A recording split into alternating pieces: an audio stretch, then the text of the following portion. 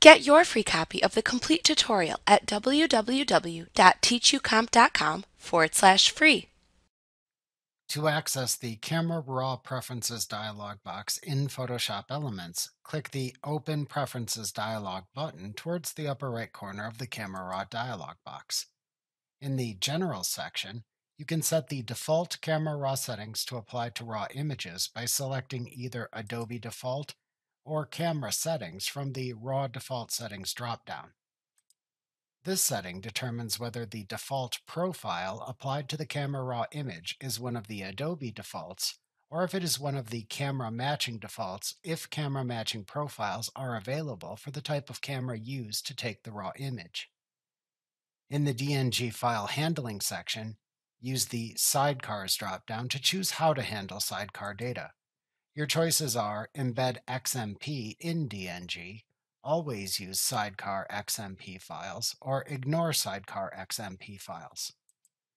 To update embedded JPEG previews in DNG files if desired, check the Update Embedded JPEG Previews checkbox, then use the Adjacent dropdown to select the desired preview size. To use a more compact layout of the sliders and settings in the panel that appears to the left of the toolbar at the right side of the Camera Raw dialog box, check the Use Compact Layout checkbox. If checked, this forces the setting name and slider onto the same line and shortens their names to save vertical space. If opening multiple Camera Raw files at once in the Camera Raw dialog box, the files appear in a film strip at the side or bottom of the preview area. You can then click a picture in the film strip to select it and edit it in the preview area. The film strip settings let you determine the appearance of the film strip.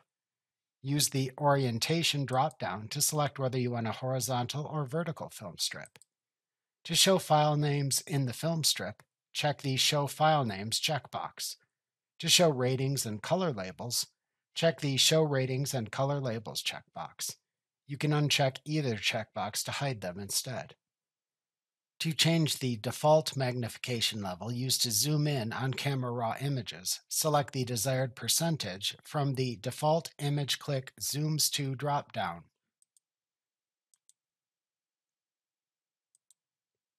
To enable a Lightroom style zoom and pan, check the Use Lightroom style zoom and pan checkbox. If enabled, then you can click and hold down the mouse button to zoom in on a preview image and also automatically activate the hand tool so you can then drag to pan as needed. Then release the mouse button and click again to zoom out. Enabling this setting also removes the zoom tool and hand tool from the toolbar at the right side of the Camera Raw dialog box. Unchecking the checkbox uses the default zoom and pan of the Camera Raw dialog box. In the keyboard shortcuts section, you can check or uncheck the Use Legacy Undo Shortcuts checkbox to enable or disable the Legacy Undo shortcuts. After changing your settings, click the OK button in the upper right corner of the Camera Raw Preferences dialog box to apply them. Like what you see? Pick up your free copy of the complete tutorial at www.teachucomp.com forward slash free.